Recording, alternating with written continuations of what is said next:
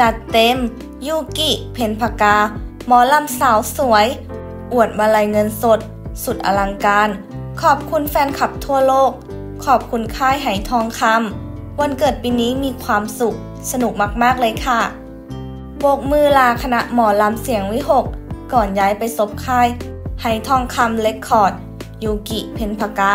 นางเอกหมอลำสาวสวย ก็ได้มีผลงานออกมาให้แฟนๆ ได้ติดตามกันค่ะ ยังมีพ่อยกไม่ยกคอยให้กำลังใจขับข้าง และล่าสุดนะคะ ยูกิก็ได้มีการโพสต์ภาพ พร้อมข้อความผ่าน Facebook ขอบคุณทุกกำลังใจ 26 เมษายน 2566 ผู้สื่อข่าวรายงานว่า Facebook ยูกิเพนพากา ก็ได้มีการโพสต์ข้อความระบุว่า วันเกิดปีนี้มีความสุขและสนุกมากๆเลยค่ะ หนูขอบคุณค่ายไหทองคำ พ่อประจักษ์แม่แอนที่จัดงานให้ลูก ขอบคุณพี่จีจี้ พี่เจมส์ศิวไลที่จัดสถานที่ และ support ทุกอย่างในงาน ขอบคุณรถน้ำรถเคปสปอร์ต ขอบคุณทุกคำอวยพรที่มอบให้หนู และของขวัญทุกชิ้น เค้กทุกปอนด์มาลัยฮักทุกพวง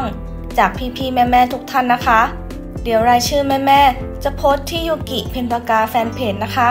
ขอบคุณพี่ๆแม่ๆ ที่มาร่วมงานเมื่อคืนนี้ และขอบคุณกำลังใจจากทางไลฟ์สดด้วยนะคะฮักทุกคนจ้า